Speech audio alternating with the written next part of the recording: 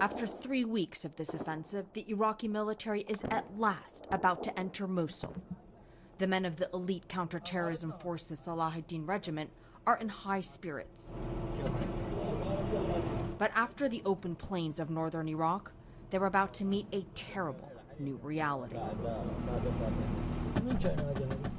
This is not a place these soldiers know, but their enemy does. Right side, there are. The challenge they're facing right now is that there's snipers on rooftops and they're receiving incoming mortar fire that ISIS is shooting from areas that have civilians in them, which makes it almost impossible for the counterterrorism units to be able to fire back.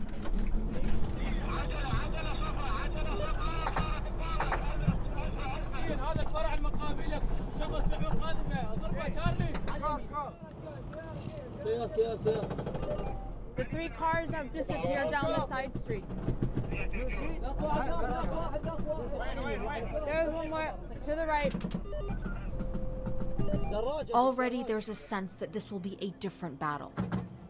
Civilians are still waving white flags, but the roads are getting narrower. We're in ISIS territory. It's clearly marked.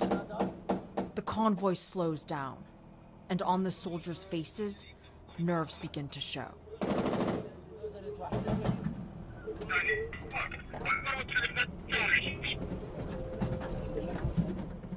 And then the roads give way to muddy alleys.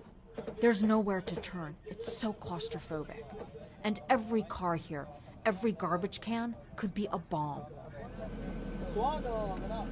It's heartbreaking that some families are still here.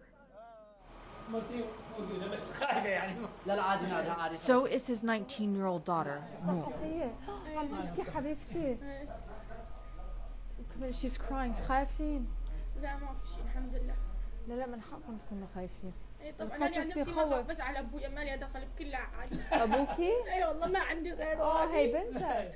Was accepted into university, but she never went. Her younger brother Saif, is paralyzed with fear cowering with his mother in the back. Then a car approaches, frantic, shouted warnings.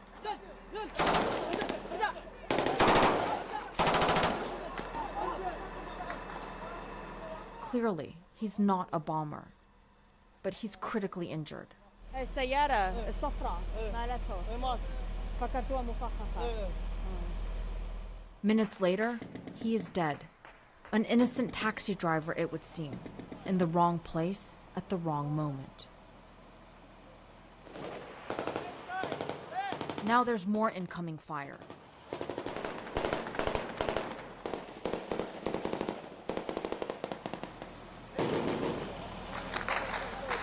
They've been coming across quite a bit of sniper fire, gunfire, mortar rounds, rocket propelled grenades, and of course those uh, car bombs. Even in the midst of battle, moments of humanity. But they are all too fleeting. ISIS fighters are on the rooftops. Three grenades land in the street. I can't open. I can open it. Just uh, I look uh, this How did you how did you get this? Uh, grenade.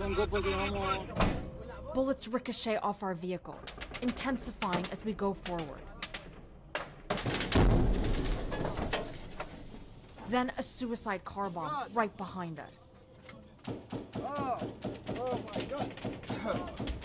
Oh, There was a flash of orange, ears ringing. Then another. That was the second massive explosion like that that we've just heard. The first one they said was a suicide car bomb, and it exploded on the vehicles that are just behind us. There were a number of soldiers just running in the street. One was carrying his buddy who seemed to be wounded. They spot enemy movement.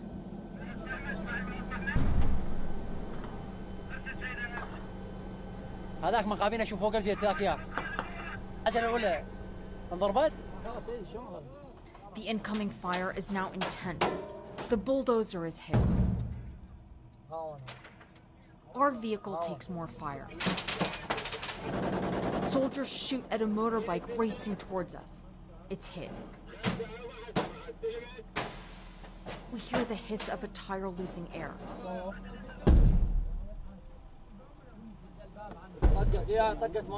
We realize we're trapped. Vehicles, wreckage, everywhere. Our MRAP takes a direct hit. Oh, Open, open, open the door. Open the door. Open the door. Arwa.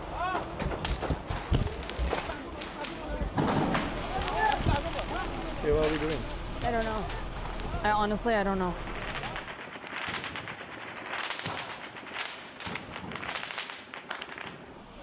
We need to go in this house. صعد مشي روحي صعد صعد جرح يطلع يلا جو جو جو جو جو صعد صعد in, in there We take cover, injured soldiers and a terrified family. Brice too has a small head wound. More wounded arrive. تعالجوا واطلع لان البيت ما في ستاره وهذا واحد منا انا ما ادري ما منتبه عليه Injured himself, Staff Sergeant Ahmed treats Brice' head wound. ISIS has systematically targeted and disabled almost every vehicle in our convoy. There are only three working Humvees. It's been hours since they called for backup and none has arrived. They need to evacuate their own wounded. They don't even have enough vehicles to get everyone out. And that's assuming that they would even be able to do so because they say there's still ISIS fighters that have them surrounded on all sides. Later, ISIS released its own video of the battle. They had filmed the very house where we were taking shelter from just across the street. It's almost dark. The front line has moved right next to the house where we have sheltered. We need to move, but every time we try, gunfire drives us back.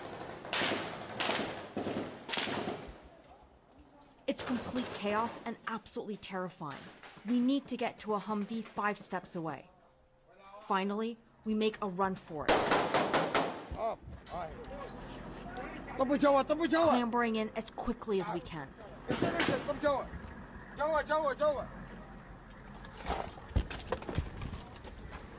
But there are so many damaged vehicles in our way, our Humvee gets entangled in another.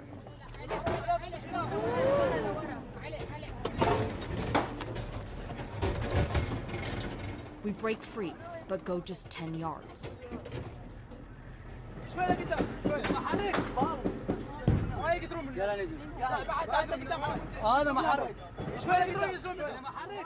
A long and frightening night in hiding follows.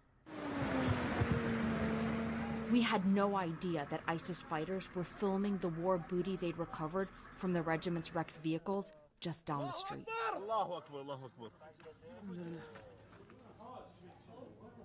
It's dawn, and we're still alive. We're with more than a dozen wounded soldiers, only six who are not. Ammunition is running low. It's been almost 20 hours since they first called for backup, first sent out the alarm that they were surrounded. And they're still waiting. The soldiers with us are exhausted, but determined. They know they're in this fight alone. On the rooftop, they scan for ISIS fighters. the soldiers get ready for the attack they know is coming.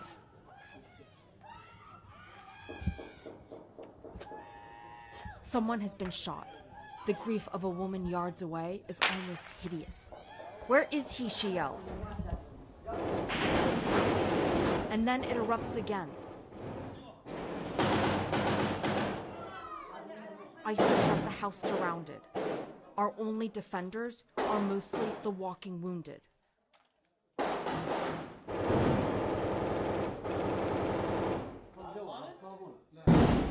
A grenade lands in the courtyard. More wounded are brought in. They tell us it was tossed by an ISIS fighter in the house behind us. An airstrike hits the house and brings down the outer wall of the home we're in. The family we're with hide under the staircase. One of the boys cries, I don't want to die. Hours later, a moment of utter relief.